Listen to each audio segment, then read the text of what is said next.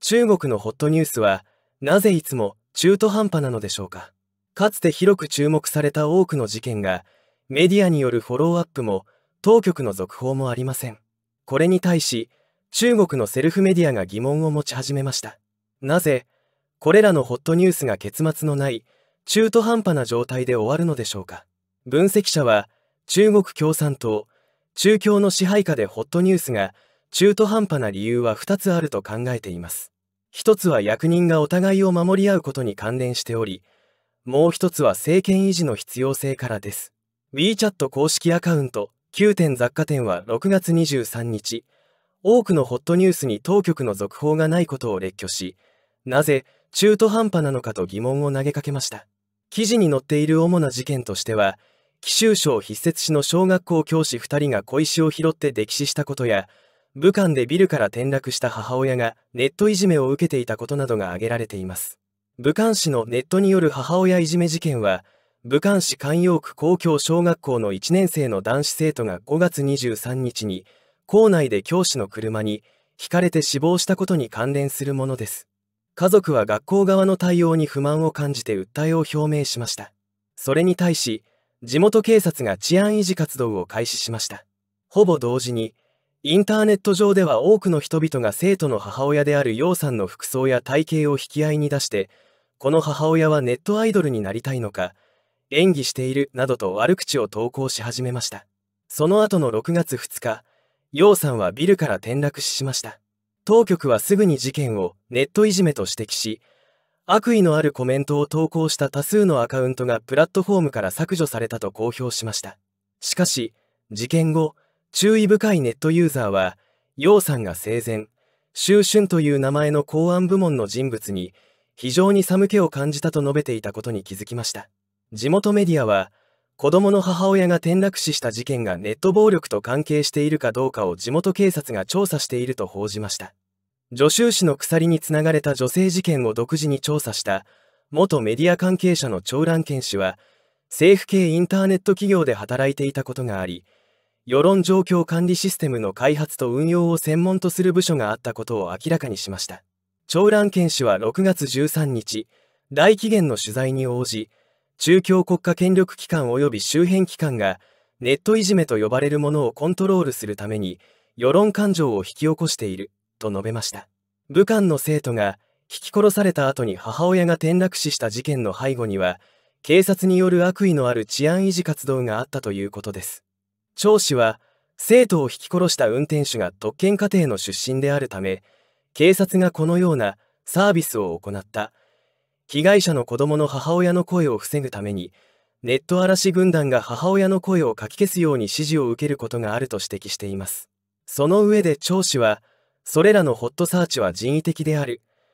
毎日どのキーワードがトップに上がり、どのキーワードが上がらないか、どういうものを下ろし、どういうものを上げるか、すべてが計画されており、客観的なもので自動的に浮上する話題はない、すべてが人為的にコントロールされている、と述べています。別の事件では、中国メディアが5月27日に報じたところによると、紀州省筆節市の小学校教師6人が4月13日に現地河川で小石を拾っていたところ上流の発電用ダムが突然放水して河川水位が上昇し2人の教師が不幸にも流され溺死しました。事件後被害に遭った教師家族はメディアに対し校長が教師に小石を拾いに行かせたのは教育委員会の検査を前にし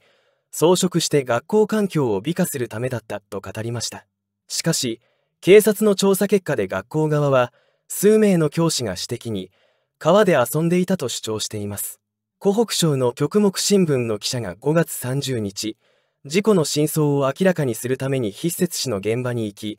取材をしていたところ複数の男性に殴打されました6月1日紀州省筆節市政府のウェブサイトに共同調査チームの結果として次のような報告が掲載されました事件調査の結果大田社は敷金県公安局馬場派出所の副所長と2名の補助警察官であった。3人はそれぞれ行政交流20日と15日の処罰を受けた。指導責任を負っていた方は、馬場町党委員会副書記の職務を解任され、町長職も取り消された。多くのネットユーザーは次のような疑問を呈しています。なぜ他人を殴った副所長は公安システムから移動させられただけなのかなぜ行政解雇処分ではないのか20日後も階級は下がらず、別の場所で仕事を継続できるだけなのか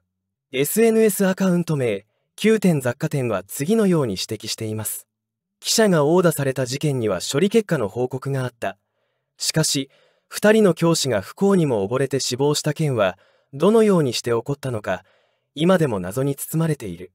極目新聞の記者が殴打されてから1ヶ月近くが経過していますが、再び調査に行く記者はいません。現地でも報道は一切ありません。長蘭県氏は6月1日、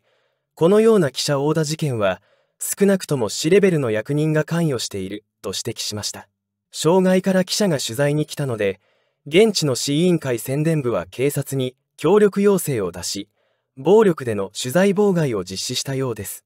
張氏は、中共の情報統制下では、当局には特別なレッドラインがある最初は世論の感情がそれほど熱くない時にはそれを無視する。しかし、世論の感情が高まり政権を脅かすと、ネットワーク管理部門が各メディアの記事を削除する。そして、全面的にそれを封鎖すると指摘しました。セルフメディアの9点雑貨店の記事で整理された中途半端なホットニュースには、深センの元交通局幹部の孫娘が富を自慢する事件も含まれています。その事件は3月24日、退職会員の孫娘が9桁の預金を自慢するという話題が、ウェイボーのホットサーチに登場しました。ネットユーザーが当事者の名前は、少子ゆくきであり、祖父は、新鮮市交通局貨物分局の元局長の商工氏であることを明かしました。商工氏は2003年に1200万米ドル、約17億3000万円の資本を持つ会社を設立していました。世論の圧力に迫られ、新鮮交通局は3月24日、調査の結果として、その発言で言及されている当事者は新鮮市交通局貨物分局の元幹部の省であり、2007年11月30日に退職していたことが確認されたと公表しました。新鮮交通局は、関連資料の調査を開始して適時に報告するとしていましたが、新鮮交通局は現在に至るまで、この事件に関する報告を行っていません。9点雑貨店の記事によると、関連情報が遅れているホットニュース事件は、前述のものだけではなく、死亡現場の場所のニュースや、さらに古いメルセデス・ベンツ・ガールのニュースなども含まれています。時事評論家の D・ ディン・イー氏は6月26日、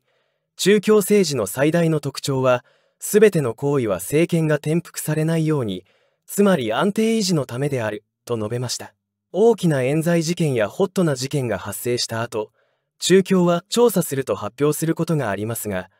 多くはそれ以上は進まないか、他の疑問を引き起こす結論しか出しません。リー・リン・イー氏はその理由を次のように分析しています。一つは、事件の背後の役人がお互いを守り合っていて、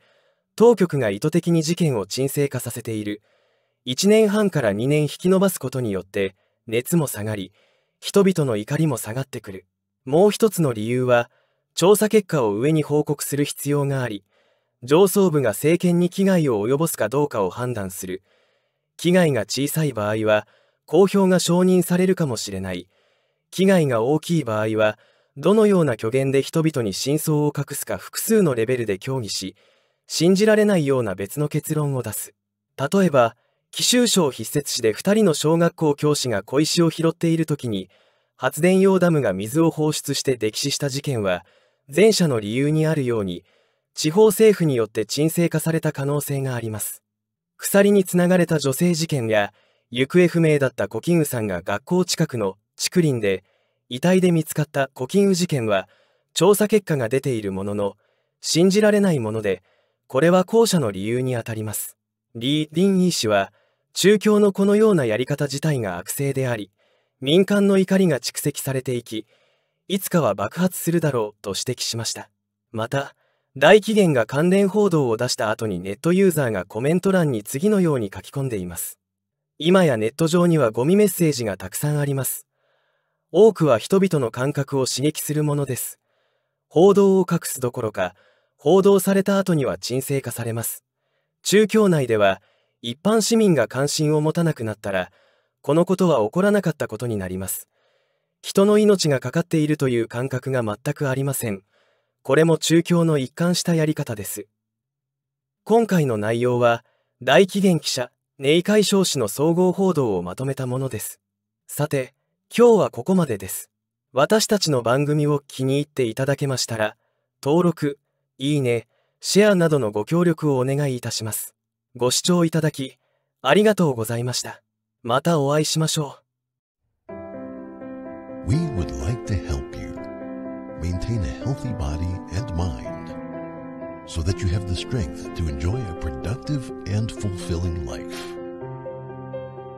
We want to keep you informed, up to date, and part of society's progress so that you can make the best decisions to support your family and your community.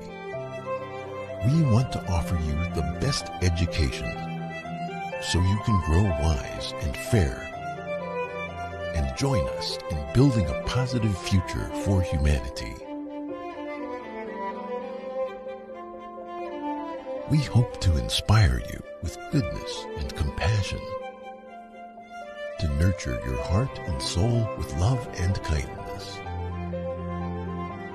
and fill your spirit with positive things. We'd like to share the tastiest meals with you because you are part of our family. We want to bring you the most interesting, funny, moving, and exciting things so we can enjoy every single day together. We want you to be the best part of our world. Kanjing World Technology for Humanity.